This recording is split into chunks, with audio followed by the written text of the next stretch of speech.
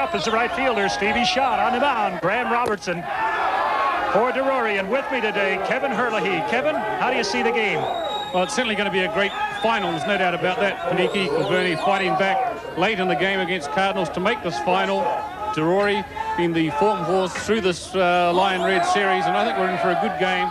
And I might just go for Poneke Kilbirnie to carry on their winning way and to come through probably with a greater batting depth than we have from the Derori team. But Derori and Graham Robinson and uh, Darren Zack with them as well, two tremendously informed pitchers, and I think we're in for a great game here today. Well, I'll second that. It certainly is going to be a good game. The pitcher out there, you get a good shot of Graeme Robertson, a veteran. A lot of speed. He mixes pitches up well, and he gets his first strikeout. Schott goes down. That brings to the plate the shortstop for PK. Kerry Johansson, he fouls off the first pitch. PK have really been a little bit shaky today. They uh, they ended up beating the Cardinals, but it was a, uh, a game I think Marty Grant would be glad to have behind him. Certainly, Marty definitely not up to his usual standard, was struggling to find the plate a little bit.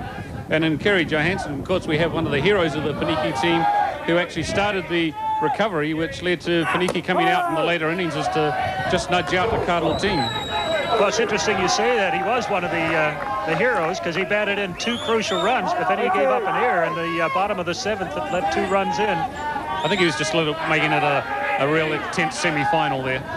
A man with a sense of the dramatic. There's a good shot. Call, strikeout. Robertson looking good here. Two up, two down. Good pitch there by Robertson. Johansson looking at that pitch, but that was coming in, just climbing a little bit with that low rise and completely taking Johansson out of the innings.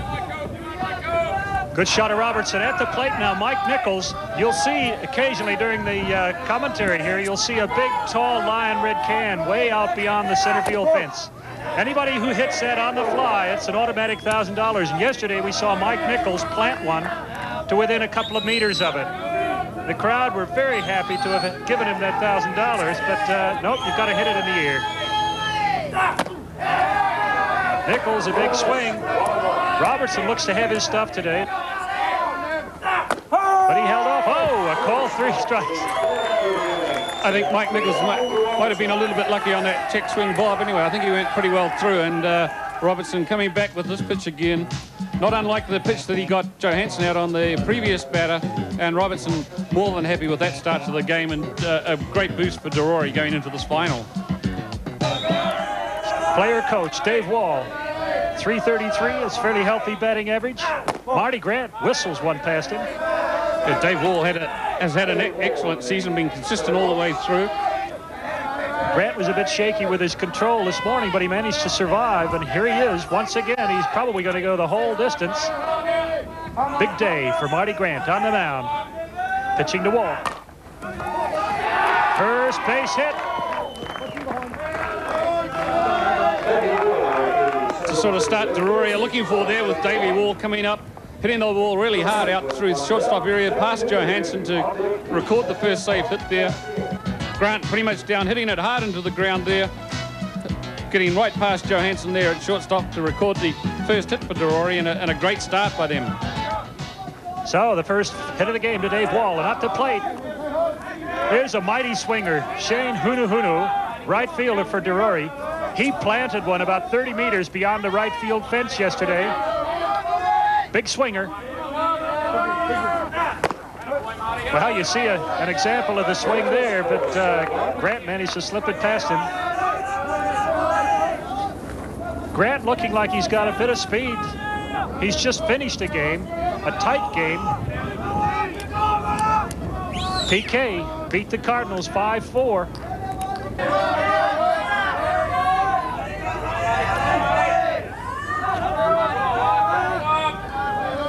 Grant into his windup.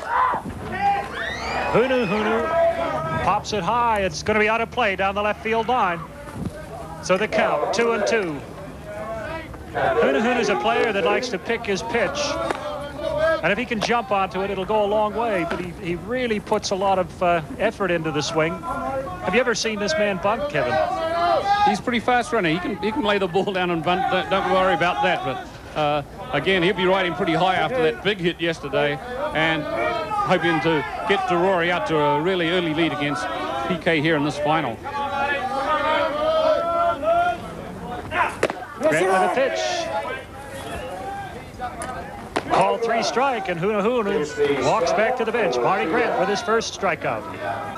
Garcia, an, an import from the United States, plays out of Santa Rosa and San Francisco and has been a vital part in the Derori team this year. As you can see by the batting average of 4-1-4, he's really been hitting the ball hard, has been a tremendous help to the both pitching staff here, and we can look forward to big things from Garcia today. Grant comes in, the runner's away. Good throw to second base. He's out. So Wall tagged on the steal. Corriero out there around second base. Wall didn't like the call. It's the pitch. Good, again, Aitken just throwing out of that crouch there, the ball going down. That was pretty close at the end, wasn't it, Bob? It looks like he, Wall may have had a bit of a justification in that. Lead off batter for PK, Murray McLean, and there's an impressive statistic. 10 RBIs, runs batted in for Murray McLean. Again, another experienced New Zealand player. Missed out on the last World Championship, but was there for a couple before that. Uh, an excellent hitter of the ball, an excellent sportsman all round. Of course, having played uh, provincial rugby and... Uh, well, seriously, dude, so we've got one strike. That, well, here's two old war horses facing up to one another. McLean with the uh, stick in his hand and Graeme Robertson there glaring at him from the pitcher's mound. One ball, one strike. McLean hitting 3-3-3. 10 RBIs. In comes the pitch. Long shot to left center. That's it. Over the flags. Whoa. You can add another RBI to that one. That's number 11 for McLean, and he certainly got all of that from Graham Robinson. From the time it left the bat, there was no doubt where that ball was going. And McLean gives Poneke that lead with a tremendous hit there to centre field. Never in doubt at any stage, and a great hit by McLean kiss it goodbye. Bat meets ball, ball meets stratosphere, and it's 1-0. Wasn't a bad pitch from Graham Robinson either. As we said, uh, some of those big hitters, though, they like that ball up around their eyes, and that one was starting to climb out of the strike zone, but not fast enough to beat that hard swinging batter McLean, and he certainly made no bones about that one. That was gone. Kevin, what do you do if you're pitching against a team like PK? It's just awesome batting power there. And what do you do? Pitch and hope? To a certain extent, obviously, you've got to do a lot of homework before, and uh, I think these Poneke batters like the ball coming onto them at, at speed. Well, the designated hitter, Wayne Saunders, takes a call strike. I think the, the times that I have seen Poneke struggle a little bit this year is perhaps when they have been faced with someone that's throwing a little bit of off speed. Saunders, the designated hitter. Facing Robertson. Yes, he did. Well, Robertson gets it down low. Saunders goes fishing, and it's another strikeout. So back to the leadoff hitter, Steve Schott. Struck out first time up. He's going to be safe. He's as good as a bunt. Took a swing at it. Kerry Johansson, the shortstop, at the plate. Steve Schott on first. Robertson takes a sign into his windup. Schott goes to second. Heads for third on the wild throw and air at second base. Poneke certainly with their tails up here. Uh, as I said before, it's amazing what happens when you've got that one run up there. Garcia almost guessing that uh, steal was on. You can see him coming out there, but the throw was wild. And Schott, not stopping at second on that bad throw and carrying on to third base. Uh, even with two out, we can see added pressure now on the shoulders of Robertson with that guy on third base. Shot the third baseman into left field. Third baseman got his hand on it. But Brown could not hang on to it, so the run scores. Poneke, they can see there with their tails up now. Johansson right on that one, slashing it down through the shortstop area. A clean hit, scoring Steve Schott. And Poneke have certainly come to play here in this final, Bob. It's quite often the case here where the winning team from the, drawing that bye and going straight into the final. How many times have you seen it where they're at a disadvantage? Poneke having come off an excited win there, adrenaline's flowing, and Derori coming in cold, and Poneke are picking up from where they left off in that last game. Well, and Johansson took off at the pitch. He gets second.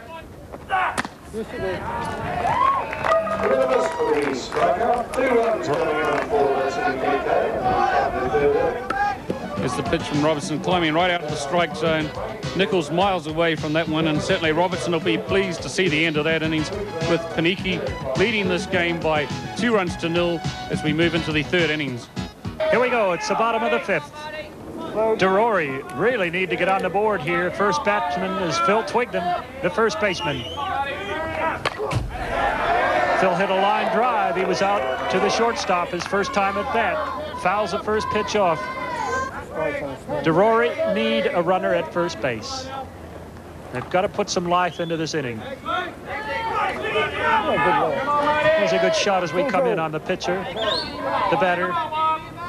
You see the pitcher take the sign just now. Grant into his windup. Low and away. Dur- Drury certainly still have their opportunities. Uh, Grant tending to fall back into some of those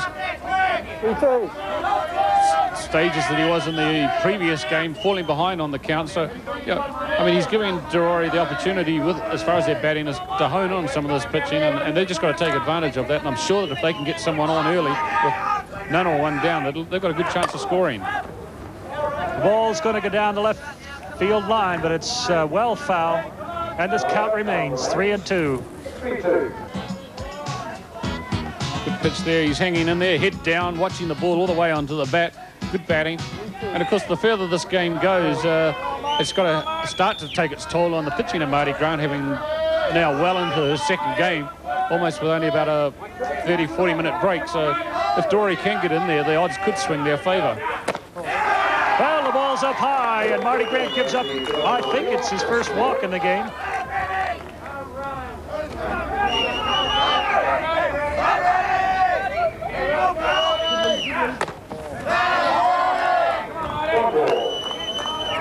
So, Twigden on first.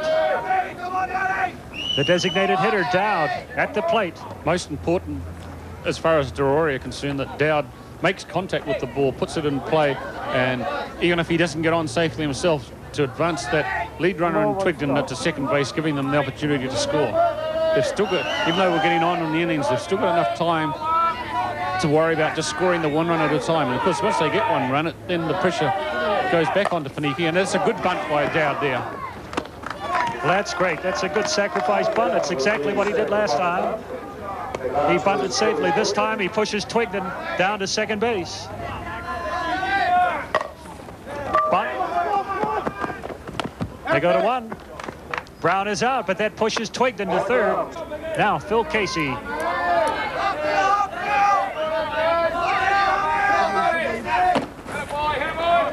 First strike. Marty Grant threw a good pitch. We got Twigden at first. We got Steve Casey on first and Phil Casey batting. There's two down.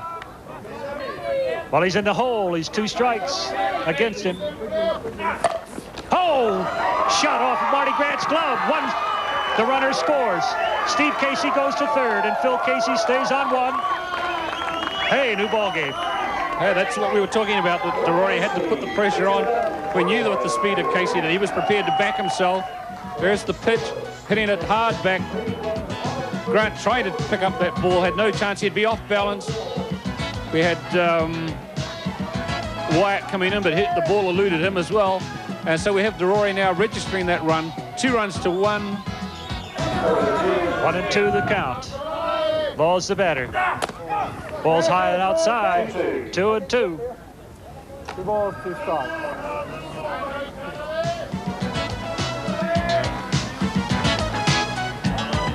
Garcia just pulling that one in a little bit, but again, Robertson being ahead in the count was able just to move the ball just that little bit further out, hoping to tempt Laws to have a swing at something just outside the zone, which he does there. So here we come. We're playing for everything here. There's the strikeout falling down. Garcia picks it well out of the ground there to retire Laws. We move now to the bottom of the seventh innings. The score, Poneke Kilbirnie 2, Derori 1, and this is Derori's last opportunity. Phil Casey, the leadoff batter, lays down a bunt. He's going to be safe at first. Whoa, life springs eternal. The silver heels of Phil Casey are flashed. Again, we see Casey backing himself, putting down a great bunt there, the ball bouncing high. Aiken taking that ball there, and Casey almost in the row. The throw going inside the dome, and McLean cutting it off there. So we see Casey on, and that's what Derori needed. They needed someone on base there to give themselves that opportunity. Tying run in the form of Phil Casey on first base there, bringing to bat Davey Wall. Well. A rips a single to left. Whoa. Moving Casey to second there. Are we going to see a repeat of that fine end that we saw to the Junior World Series here? And uh, Derori certainly obliging with Wall, getting right onto that one, hitting the ball solidly through that shortstop gap there. Derori, runners on first and second, two out, and this game still in the grasp of Derori to take it right out of the hands of Poneke here in the bottom of the seventh innings. And at the plate, We have a repeat of that confrontation we saw when the bases were loaded, uh, which went right down to the wire. And again, we have Shane Hunahunu facing the pitching of Marty Grant with two out.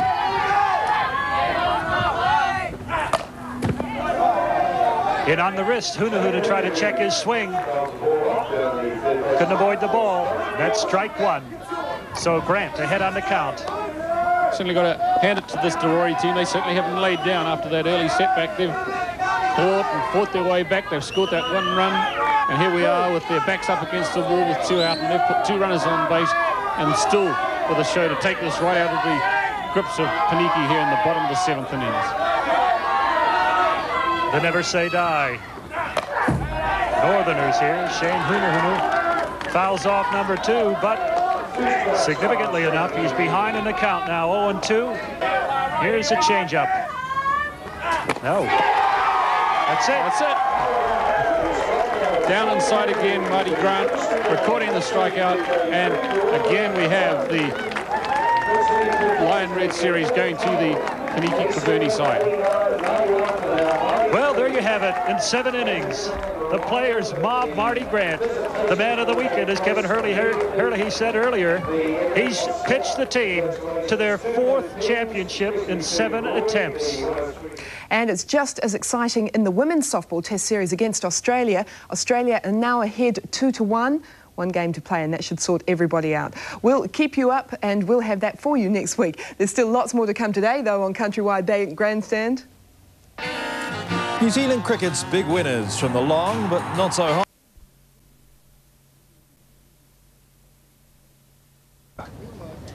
爸爸，阿父話佢識一個法國生意佬咧，知道農曆新年就嚟到啦。咁咧呢個法國佬買咗一批好平嘅貨俾 Arthur，而家佢可以減到好平、好低埋俾你。呢、個機會咧，佢話得一次嘅啫。好好，送三。My father says fine, but what exactly is it you want to sell him? Raymond, if you'd be so good.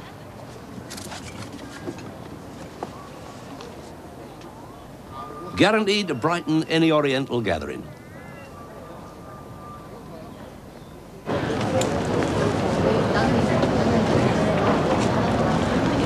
Thank you very much. Um, thank you. You need to park the car. Right, where we going? We are not going anywhere. I'm going to see a man about a dog. I'll see you back here in an hour.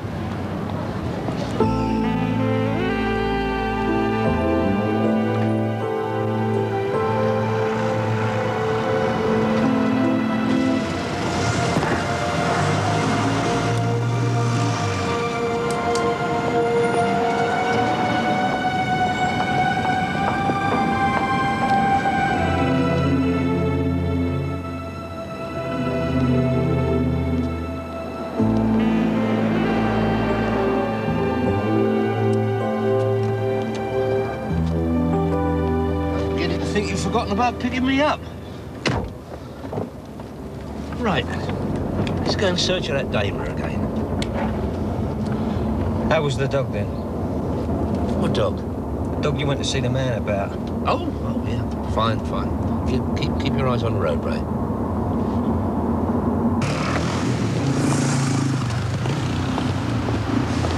This Tony's like the Scarlet, what's his name? Everywhere and nowhere. Dave says there isn't a phone number listed. Well, do you want to try further down? No, no, we'll come back later. This place is like a warren.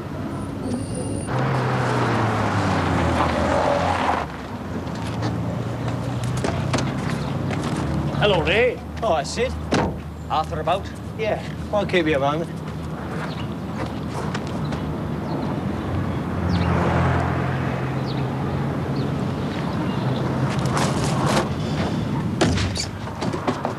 Arthur, What do you want?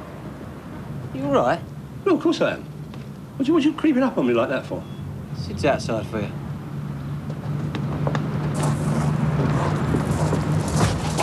Sid, I've put word out about the Cookerhoods. I should hear something soon. It's not the Cookerhoods I want to talk to you about, Arthur. Take a look at this.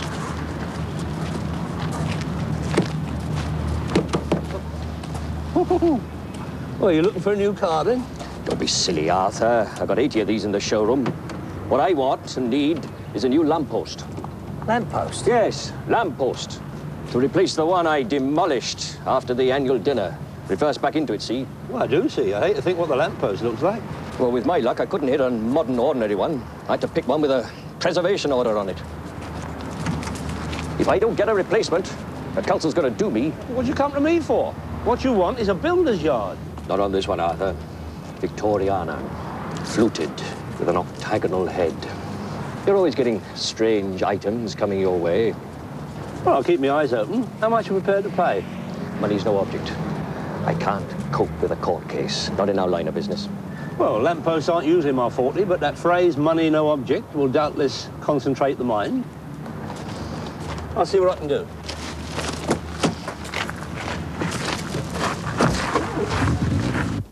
Here, Arthur. I don't mind running these over to Chinatown. Why don't you have an early night? Early night? What do I do with an early night?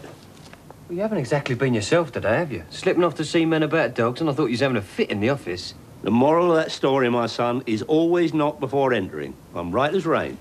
I'll drop these bulbs off, and then I'll probably see you back at the Winchester.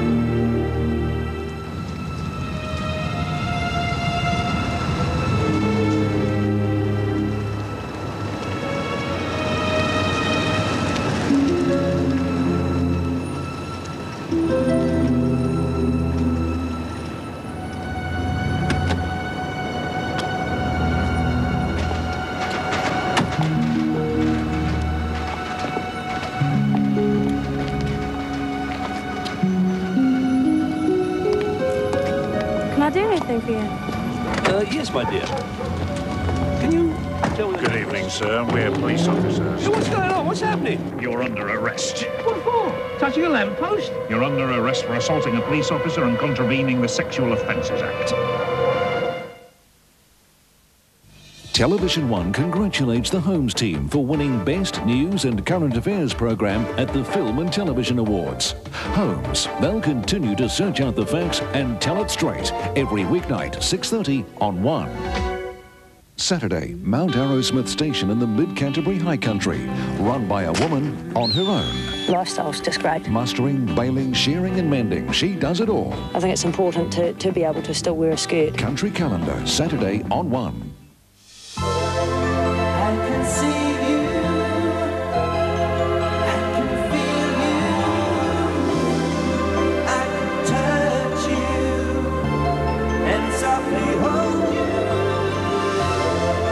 Snowtex Family Collection in the all-new designer packs.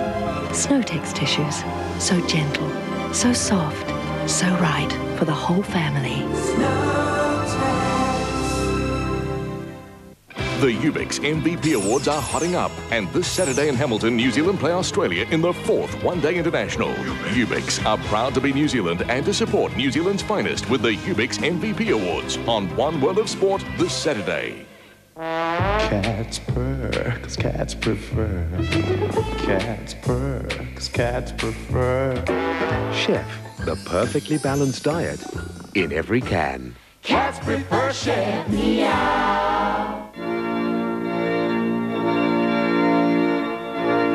Michael Hill Jeweler. I have an amazing range of wedding bands, all at special prices. Man's diamond wedding band was $220, now 119. Hard-wearing man's diamond set gold wedding band was $259, now 129. Traditional man's 9-carat gold band in set with a diamond was $249, now 129. Now is the time for a wedding band from Michael Hill Jeweler. What does it take to look great? How do you do it every time? The new kids on the track are wearing the latest hooded sweats from Hallensteins. 100% cotton and outstanding value at just $29.95. And make them match with fleece pants. Unbeatable buying, also only $29.95 while stocks last. All it takes to look great. Hallensteins, all it takes to look great. takes to look great. If your face was square, shaving would be simple. But your face has curves. Introducing the revolutionary Schick FX, the only twin blade razor that flexes to follow the curves of your face. Schick FX. We're changing the face of shaving. I don't know how you do it, how you find the time. You say there's nothing to it, but you do it all the time. And only you ought to be congratulated. The Oriental Carpet Palace is here to attack the handmade rug industry with its cutthroat prices. Afghan Baluchi, slashed to $99. Large Persian Kilims, slashed to $495. Princess Bokharas, slashed to $299. Persian Isfahan, slashed to $4,998. Thousands of authentic handmade carpets will be slashed up to 80% off. Starts this Saturday, five days only, open 10 a.m. to 7 p.m. North Pavilion, Wellington Show and Sports Centre, John Street, Newtown.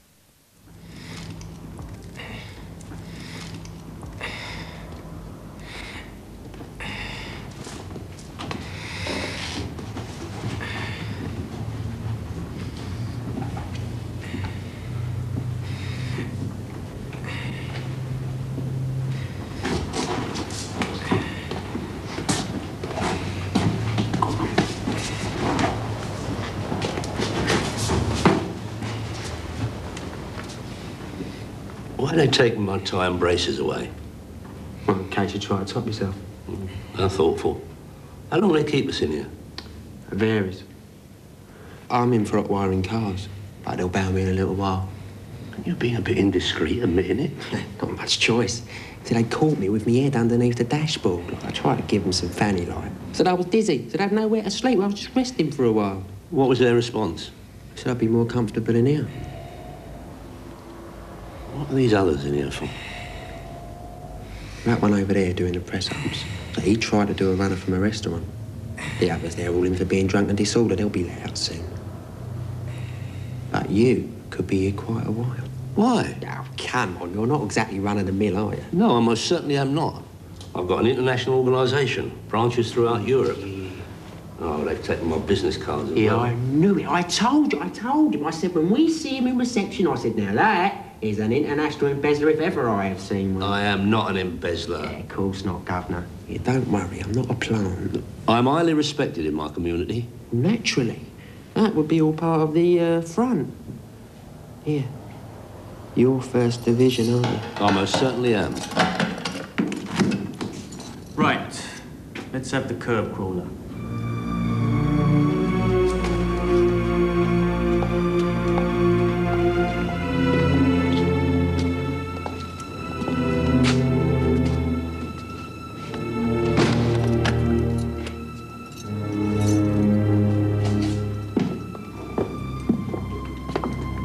Attempted to check the address you gave us. There was no one there. No, there wouldn't be. Her indoors is out visiting. What, this time of night? She's staying with her sister in Cromer. Case of while the cat's away, Sarge. Looks like it, Dickie. Cat or cat? I haven't got a cat. Just tropical fish. We've caught ourselves a comedian. Let's talk about these. It's a red light bulb. Nothing unusual about that. What's unusual, Mr. Daly, is that we discovered getting on for three gross of these in your car. Run a chain of dark rooms, do we, sir? There's a perfectly simple explanation for the light bulbs. And what is more, you'll find a receipt in my wallet. We already have. A French receipt. Well, of course. They're French light bulbs.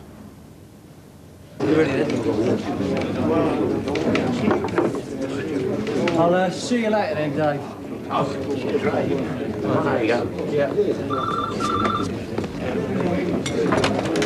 When's this close?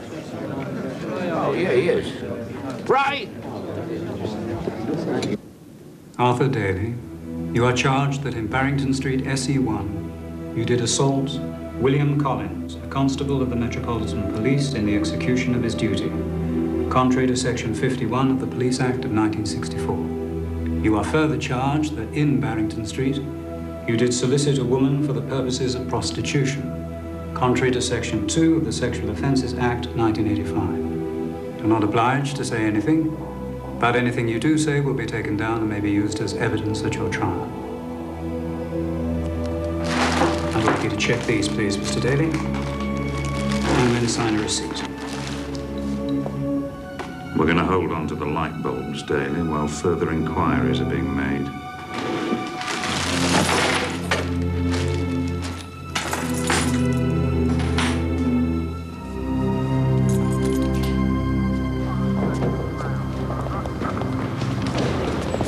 Don't say hello, Ray. If you do, it'll be taken down and used as evidence against you. Come on, get me to sanity. Hey, what you done? I'll tell you later.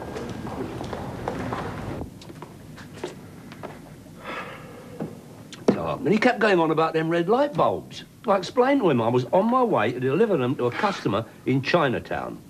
I only got out of the car to check a lamppost. Check a lamppost? Yeah, Sid's looking for one. Fluted Victorian with octagonal head. Precisely. I thought I saw one, so I got out of the car to check it. Next thing I know, I'm being mugged. At least I thought I was being mugged. Who by? Well, it turned out to be two plainclothes melons. I've been charged, Dave. He fell over me foot and I get done for assault. Done me more damage than it did him. Then there was the business of the girl. You mentioned three charges, Arthur. Yeah, something about curb crawling. I wasn't even in the car.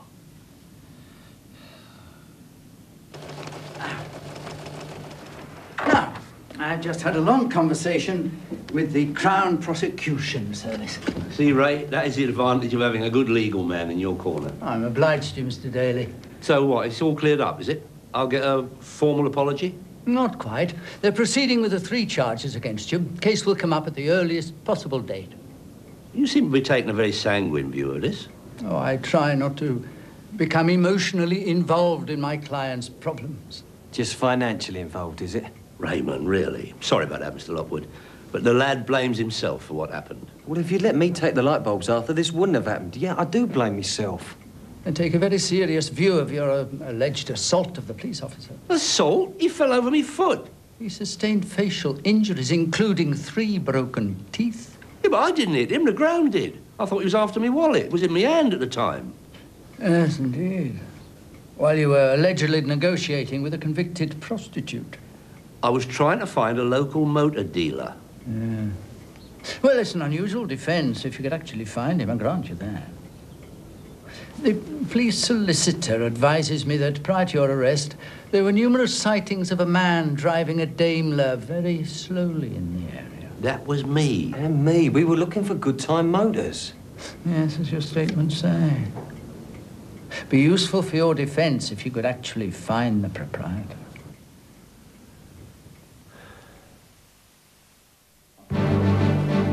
On prime time, name suppression in court cases. These two are guilty of a serious white-collar crime, yet their identity is being kept from the public. Tonight, we can reveal their names, but ask if the system of keeping identities private needs to be changed. Also this evening, the Benson and Hedges Fashions Awards in Wellington. We'll show the winning outfits. Final this afternoon. One of the talking points of the morning has been who will do the pitchings uh, for the underdogs this afternoon. They have available to them that man there, Steve Jackson, having his last gasp before the action gets underway.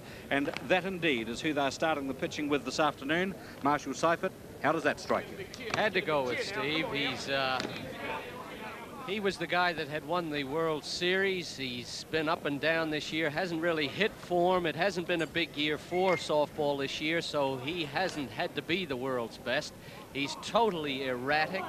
He's uh, a, McEnroe of, of sport, but I think he's a winner. And I'm the only guy on the ground here that says that Auckland is going to win this game, Gary. Yeah, well, it'll be a big one this afternoon, all right. And uh, it's a pretty strong Hutt Valley lineup that we have with uh, Mark Sorensen starting the batting for the Valley. He'll be followed by Ross Green, Bruce Beard, and then Dave Workman. So a rather formidable lineup for Hutt Valley in the batter's box. And as I said before, Auckland, they started in a pretty dramatic fashion in this tournament. Ooh. But since then, it's been a struggle.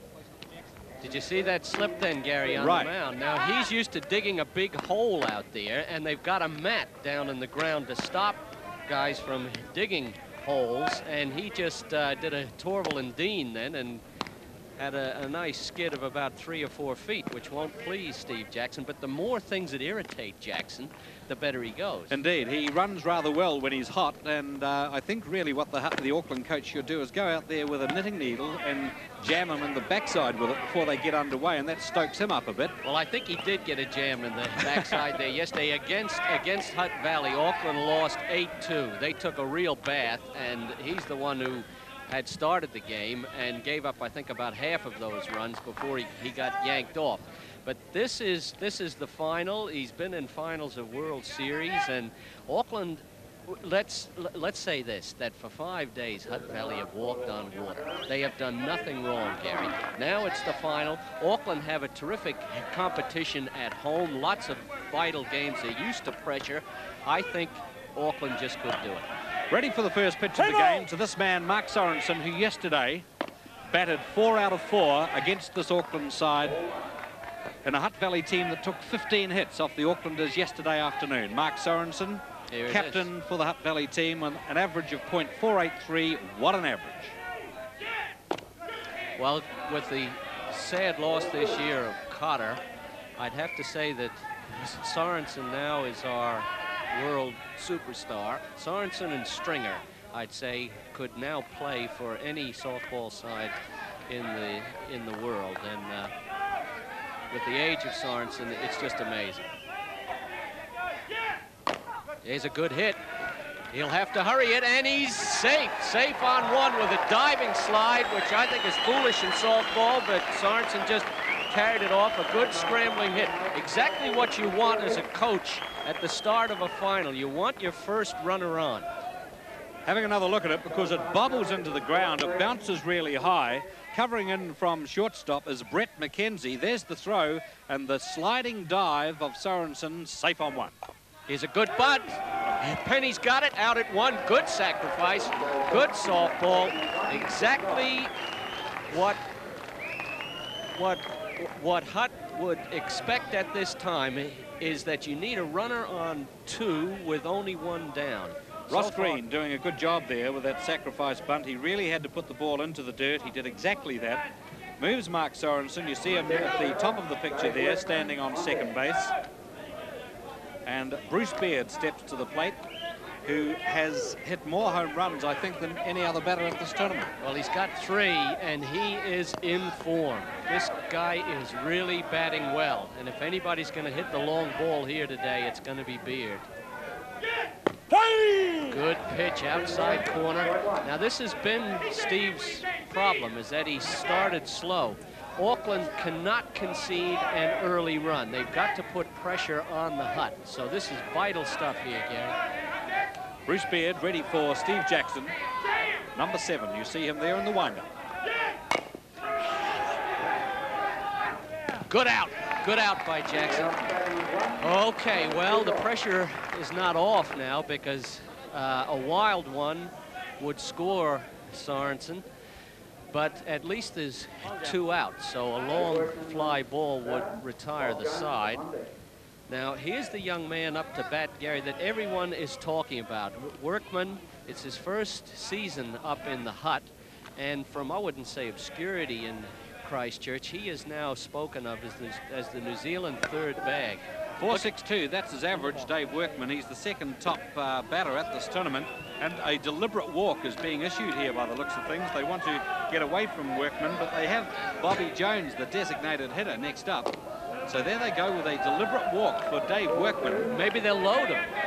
Maybe Well, they'll load the bases. Okay, that's not stupid either. I don't Okay, know. It's This- running from behind a little. I wouldn't want to be doing it, but Workman has a reputation of being able to hit the ball pretty hard. Yeah, but he's just a kid, and this is a final. I don't know. Gee, this is terrible because if they concede anything more than one run, this ball game is going to be over. Now what do they do? They have Jones up. Do you load the bases, which means it's a force out at any base? I would walk Jones and attack young Kerr. Right. Yeah, that's probably what's in their mind too, and it's not the stupidest thing to do because Kerr is a scamperer around the bases like you've never seen. But meanwhile, they have to get rid of this fellow, Bobby Jones, an average of just 056 doesn't say a lot for batting, his batting ability. He's a better batter than that average suggests. Well, he's New Zealand DH material, so Bobby Jones is having a pretty lead. Oh, that's why they're going to pitch to him. Oh, Steve boy. Jackson ready for Jones. Okay, now we'll see if there's a steal on here of two by Workman. It's not really necessary, and I don't know if I would gamble it with Carl Gould, the New Zealand catcher, on here. But this is dynamite stuff, pitching to uh, to a New Zealand batter. Good pitch. Gee, a lot of pressure on on Jones here, isn't it? It sure is. It's embarrassing for Jones. Right, runners on first and third. There are two outs. We're in the top half of the first innings, Auckland against Wellington in the final. Here it is. Oh, there it is. There it is. Now they got to stop the second run. In comes the ball, and he's out. He's out at three, but meanwhile the run have scored. Hutt have the lead that they wanted. And it's going to take a monumental effort. Here it comes now. Good, good hit by Jones. Lined it past diving Colassi into right field. Now watch this good throw from Ross Green. I I don't mean from Ross Green, I mean from Henniger in right field. And there's the slide. He must have got him Yeah. at the start of the slide. He must have, because it, uh, I mean, there was no doubt about it from umpire Saunders, who, Wayne Saunders, very quick to get his arm up. But meanwhile, being one down in the top half of the first innings, that's not a good situation to run with, Marshall. No, no, it's bad. Auckland really needed a one-run lead because all of the pressure is Come on, on man, let's Auckland. They've got to win twice, and Hutt gave them a bath yesterday. So Hutt Valley would be very pleased at this moment to have this one-run lead. Now, Auckland have to get it back straight away. They can't waste time or it's going to be 3-0. Pitching for the Hutt Valley team this afternoon is what many regard as being the number one pitcher in New Zealand, Paul McGann. And uh, it really is a bit of a battle between McGann and Steve Jackson as to who does occupy the number one pitching slot in New Zealand. And I guess it's some sort of justice that we have here in the final this afternoon, Hutt Valley and Auckland, with the two top pitchers in this country. Well, re, re- there is also White, who is overseas. He's Right. got to be in the top three there. But that's right. Uh, as far as New Zealand goes at the moment, we've got our top two in this game.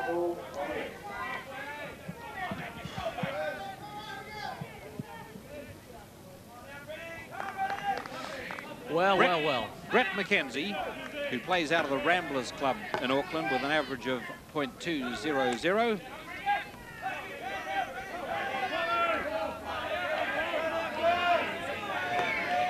Here's Brett. Now, Gary, I think they have to attack third base. If I were Auckland, I would look for a lot of early, scratchy bunts and hits onto the left side of the diamond. Because Hutt Valley just haven't got a weakness, Gary, as far as I can see. Well, they're pretty tight in the field, and uh, we've just seen how they can do damage with the bat when the pressure is on. So McKenzie back into the batter's box, two strikes, and Paul McGann, who told me before the game that he really felt as though he would be running hot this afternoon, but confessed to a poor game yesterday. Now, we can't afford a strikeout here. I would have him bunt on third strike. I would apply a maximum amount of Right, that's why I'm glad you don't coach New Zealand. Two strikes on Brett McKenzie. There's no good him striking out at this stage. That's over the fence. Foul ball, strike two, the count remains.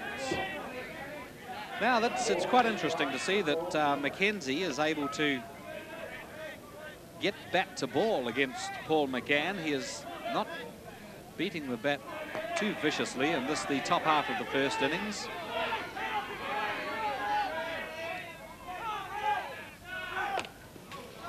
Wow, there's a wild one. That would give hope to the Auckland Hearts. Ball. Umpire England calling the balls and strikes this afternoon. Signals ball two, strike two. Pressure is on Auckland with a capital P. He's got it. Help! That's the first out of the game for Auckland. And not a great start for Auckland when you measure it against the Hutt Valley start. There's McKenzie out. Carl Gould will step to the plate. There you see Gould, who is now regarded as one of the top catchers in this country, along with that fellow behind him, uh, Mark Sorensen. In fact, at the moment, Gary, that's all we've got. It's quite a serious thing at the moment, is that if either of these two had gotten uh, hurt at the moment, New Zealand would really have to scratch to get a third catcher. Good hit! Oh, look what I found, Mother! Give us a smile, McGann. We just saw what you got for your birthday. Sheesh. He put up the glove to protect his face, and his fairy godmother working overtime stuck the ball in it. Watch this. I don't know that he ever knew he had it in his glove, you know. No, no, I got it all wrong. Good catch, Paul. He looked in the outfield to see where it's gone. it's buried in his glove. Two outs. A grand. That's when the ball starts running for you. and When you- when you're nothing's going to go you're wrong today. when you're hot, you're hot. Two outs. Eddie Kalassi, the new batter for Auckland. They trail 1-0. Ball. Well, Colassi isn't batting either. Gee, this Auckland side, uh, we've seen batting averages here that are grim for a squad this good. Ooh, and he fooled him completely on that one. He was about a, a foot away from that pitch. It dropped well under the bat. Colassi knows it was a bad miss. Here's McGann. I'd say after that catch there, uh, he'll be looking for a strikeout. Yeah, that's put back to ball. It's going. It's down the right field line, but it's foul. Good smack. Swung late. Ball straight down that right field line, but just curved foul. Right. It's it's it's important that Auckland don't strike out at the moment. Why I say that is that with a pitcher as good as McGann, who is really hot, once he starts to hit the groove, he's going to be dynamite. So as long as the ball is being moved, uh, which doesn't matter if it's if you're out on a hit, as long as you don't strike out.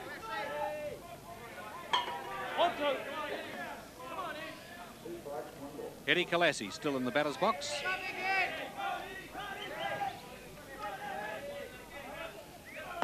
Oh, that's just what they didn't want. Beautiful pitch by McGann. Great catch, good strikeout to end the innings. Hutt looked top. Let's see this uh, strikeout now. Here it comes. Colas just missed it. Good, but his feet, he was jammed on that. Not an elegant swing at all, Eddie. That's one that uh, you'll want to forget. But I don't know how you stop Hutt at the moment. Uh, I think it's very important that Jackson starts to get some strikeouts. Here's uh, Steve on the mound now. Now he's down by one. He's had a, a, a rum season so far, Steve. His club side did not win the Auckland champs, and he's been up and down all year, and now he's down by one run against a side that's just annihilated everybody else in this championship. Actually, with exception of Canterbury, their game was 1-0. Very brave Canterbury side this year, which, unlike these other sides, did not really have a first-line pitcher. In fact, it was Roger Keith who was uh, used to go for South and back in my day, Gary. Okay, the first batter up for Hutt Valley in their second turn at bat is Simon Kerr. And Simon Kerr is the leg man in the team. He's the one with the big motor that pumps those legs along and he doesn't bat the ball at all. He is a bunter. He only ever hits the ball very shortly. Let's watch and see how he goes. That's foul. Now he's a left-handed batter, which of course he gives him a meter advantage at least on a right-handed batter on that scramble down to one. And the ID starts at the back of the box, comes charging up, hits it down, and just continues on. Low and outside is really where you want to go. Although he's so short uh, that anywhere on the outside corner is really where you want to go against it. Ooh, got him in the inside, struck him out. First out of the innings, and that is Simon Kerr as a goner. It'll bring to back John Nightingale, and he'll be followed by Brian Green and Brett Dalton. That's the bottom slice of the Hutt Valley batting order. Here's John Nightingale from the Hutt City Club in Wellington.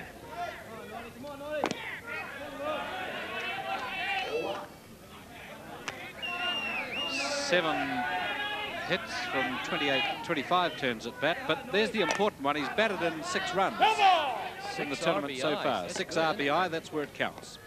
Now, this is the player who came. Usually we speak about the player who was left behind. In this case, they left behind that sensational American player, Young, and they brought this young lad with a lot of controversy in the Hutt, Gary, wasn't it? Indeed, yeah, there was. And this kid has come up trumps. In fact, speaking with Dawson, he was saying he's been his best fielder, and you don't usually get your best fielders at shortstop. That's a good dropping delivery from Steve Jackson. He fast armed the ball down, but it dropped out of the strike zone, and he throws a really good drop ball, does Jackson. In fact, he's got a pretty good armory of deliveries right through his whole repertoire. Jackson. Kalassi makes it two out. Eddie Kalassi is one of the safest glove men in the game. I saw him taken out here yesterday, which was just unbelievable. And uh, Eddie Kalassi, who is the number one second base for New Zealand, and there he goes, number four, Eddie Kalassi. He actually took a ball that was heading for out in centre field. He ran past second base towards the outfield, grabbed the ball, and then whacked it back to first base over his shoulder. And how he did it, I'll never know. He's a he's just a marvellous player. Brian Green up to bat. His, ba- his balance, really, I th think is just so amazing. Now, here's, here's the only experience Hutt have, isn't it?